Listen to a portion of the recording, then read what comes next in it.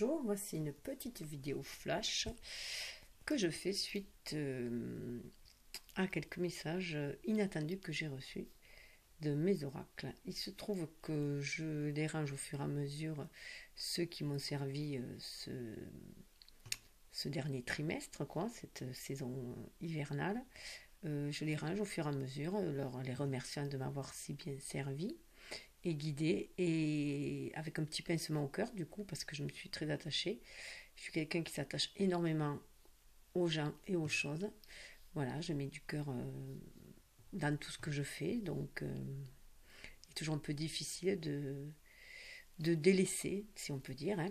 ne serait-ce qu'un temps, euh, quelque chose, mais ou quelqu'un, mais c'est ainsi, hein. donc voilà, je le fais. Mais euh, voilà, avec toujours un petit pincement au cœur. Et là, il se trouve que l'oracle que j'adore, euh, qui est euh, l'oracle bleu, hein, un de mes premiers oracles, qui m'a, voilà, gentiment donné quelques, un petit message. Alors, je vais vous montrer. J'ai eu le guide. Alors là, vraiment, j'ai eu vraiment cette impression. en, voilà, les rangeant, j'ai des cartes qui ont sauté, hein, tout simplement. Donc j'ai le guide qui a sauté, donc le 33, avec l'arbre.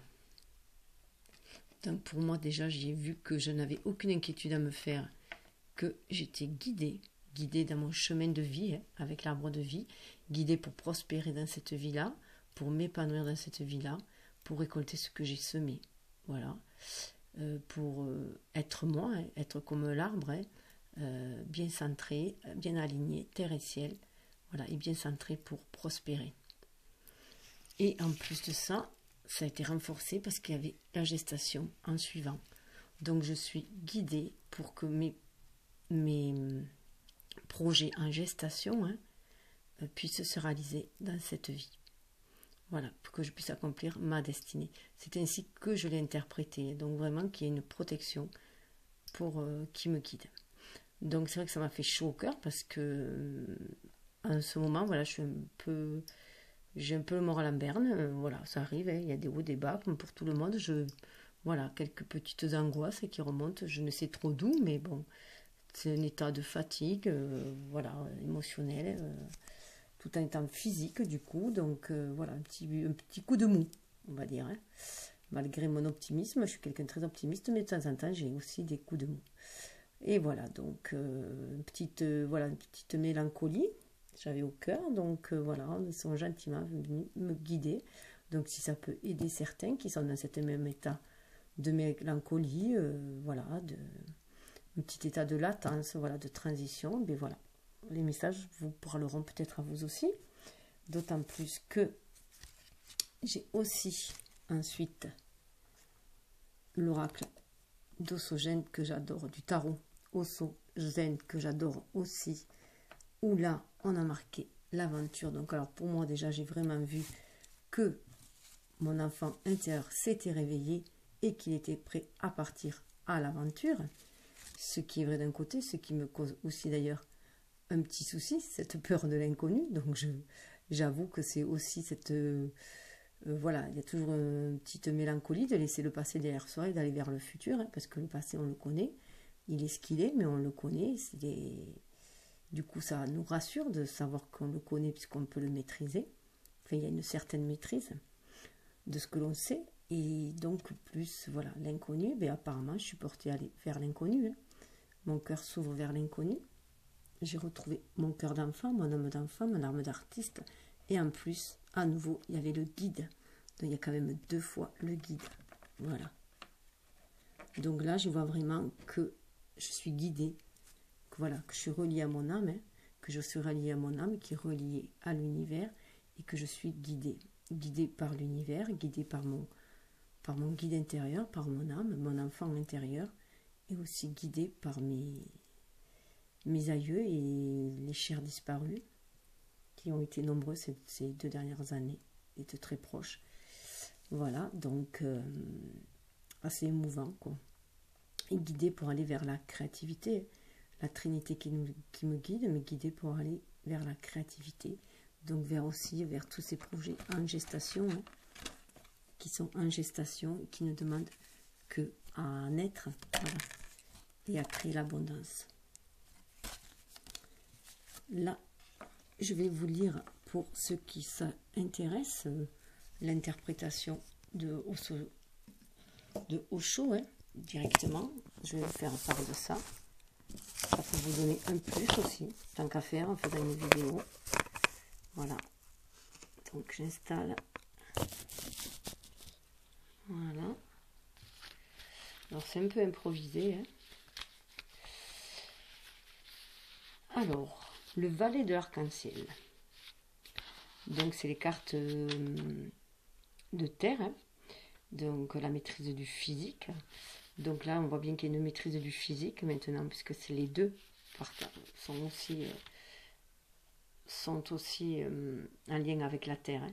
Donc avec les couleurs de l'arc-en-ciel, les deux portent les couleurs de l'arc-en-ciel. Et l'arc-en-ciel, c'est le pont, le pont qui nous relie, l'arc-en-ciel, entre le monde spirituel et le monde matériel. Et nous, on est au centre, on est ce canal-là aussi, qui, ce canal entre les deux mondes. La vérité, dit le zen, n'a rien à voir avec l'autorité la tradition ou le passé. C'est une connaissance radicale et personnelle, une expérience individuelle. Il appartient à chacun de la découvrir. La connaissance primordiale est sûre. La quête de la vérité personnelle est une très grande insécurité. Personne ne peut vous garantir quoi que ce soit. Si vous me demandez des certifications, je vous répondrai que seuls les dangers sont certains. Je peux vous assurer que vous pouvez à tout moment vous égarer de votre route et que vous avez très peu de chances d'arriver au but. Une chose est sûre, le simple fait de chercher votre propre vérité vous fait grandir. Je peux vous, garantir une croissance intérieure. Il faudra affronter les dangers et faire des sacrifices, avancer chaque jour vers un terrain inconnu et imprévisible, et ce sans carte routière, sans guide. Oui, ce sera laborieux et vous perdrez souvent, mais c'est la seule façon de mûrir. C'est en traversant l'insécurité que l'on grandit, Seul celui qui fait face au défi de l'incertain apprend sa vérité intérieure. Le commentaire Chaque fois que nous accédons à quelque chose de neuf et d'inconnu, avec la confiance d'un enfant innocent, ouvert et vulnérable, les moindres choses de la vie peuvent devenir les plus grandes aventures. dans, le tarot euh, osogène, zen, pardon, euh, il y a une partie qui est plus euh, philosophique à la base, la philosophie zen du moins. Et euh, après le commentaire, c'est plus dans la réalité matérielle, la réalité du quotidien. Le guide. Vous cherchez un guide à l'extérieur de vous-même parce que vous n'êtes pas conscient que vous disposez d'un guide intérieur. Votre devoir est de trouver ce guide, ce témoin en vous. Le Dharma, votre Bouddha intérieur, quand vous aurez éveillé votre propre Bouddha, votre vie sera emplie de grâce et de bénédictions. Il vous est actuellement impossible d'imaginer l'ampleur de la bonté et la divinité qui vous attend. Si votre espace intérieur est sombre, rejoignez la lumière en vous. Une petite bougie suffit à éclairer toute obscurité. Dès que vous aurez trouvé votre lumière intérieure, vous connaîtrez la voie qui vous sort de l'obscurité et mène à la conscience élevée. Un processus tout à fait naturel s'engage alors.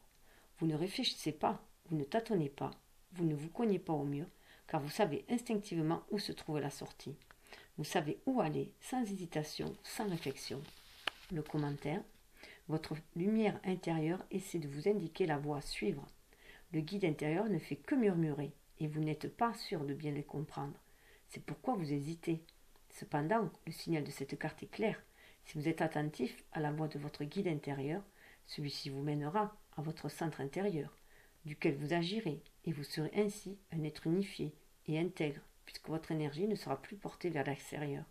Si vous l'acceptez, la lumière vous conduira exactement là où vous devez aller. Alors je vous souhaite qu'elle vous conduise là où vous voulez aller, que votre guide intérieur accompagne votre aventurier, votre enfant aventurier, sur ce nouveau euh, chemin qui se présente à nous, hein, puisque le printemps arrive. Hein. Donc c'est aussi ça, c'est sorti de cette euh, gestation de l'hiver. Hein. Ce côté gestation de l'hiver, c'est sortir de là. Ce côté où on peut cocooning, dans lequel on a été dorloté un petit peu, hein, où on s'est reposé toujours hein, dans cet hiver, où on, on s'est ressourcé surtout, et où on a d'une certaine façon mûri aussi spirituellement. Donc euh, voilà, je vous offre cette vidéo, un guide pour euh, ce nouveau printemps. À bientôt dans les autres vidéos. Namasté.